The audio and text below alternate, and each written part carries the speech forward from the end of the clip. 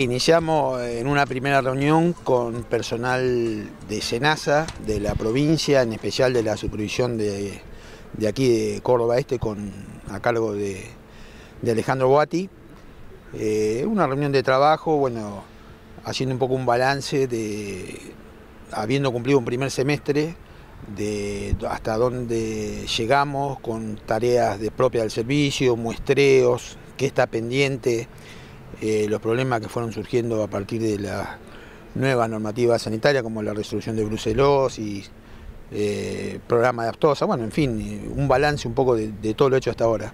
Eh, se vienen cambios importantes en lo que hace al registro de, exportación para la Unión Europea, especialmente cuota Hilton. Tenemos la vigencia de un protocolo de exportación a China. Es decir, hay muchos cambios muy importantes que primero lo tienen que aceptar la gente propia de Senasa para poder transmitirlo a los productores. ¿no? Los que están a cargo, las autoridades de Senasa, que estén eh, también debatiendo sobre el mismo tema en tres salones distintos y ahora vamos a entrar a la, mesa redonda,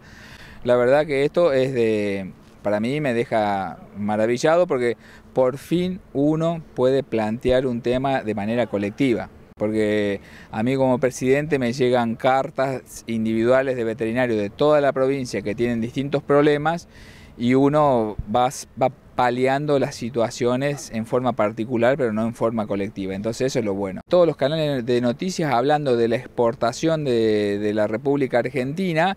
y si no tenemos en cuenta que los veterinarios son la materia prima fundamental, desde el origen de la producción hasta el que veterinario que está arriba del buque que se va, o sea, no, no vale la pena que hablemos. Entonces, por eso eh, para mí esta reunión es maravillosa y por eso se discute con altura, porque sabemos el rol que nos compete y estamos acá para defenderlo y hacerlo valer y explicárselo a todos y obviamente más de todas las autoridades nacionales. Contento porque nosotros estamos eh, en 30 años de plan de aftosa.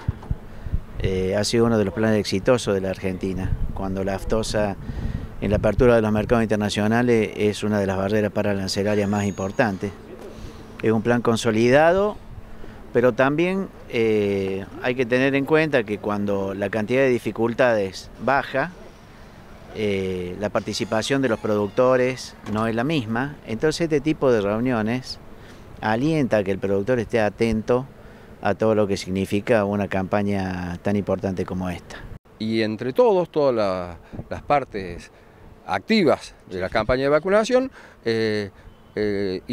interactuar inquietudes, problemas, cómo trabaja uno, cómo trabaja el otro y tratar de mejorar.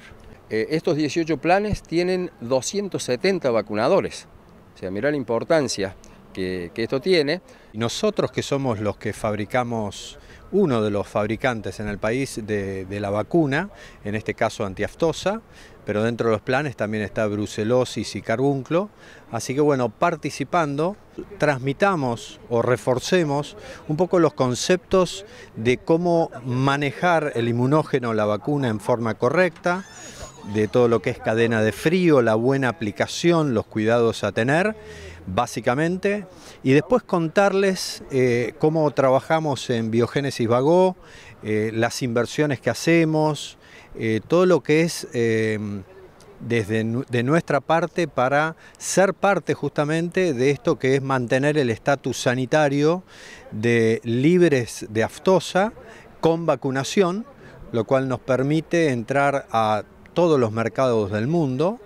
luego de la charla de capacitación del laboratorio Biogénesis, hacemos un plenario entre todas las partes y ahí eh, se preguntarán, se dirán todas las cosas de todas las partes. Bueno, a mí me toca, aparte de ser coordinador, ser parte de la comisión del Centro Agrotécnico y estamos realmente orgullosos porque hace cuatro años eh, este predio que estaba abandonado, hemos logrado eh, este tipo de reuniones que es para lo que este centro eh, tendría o tuvo siempre que ser.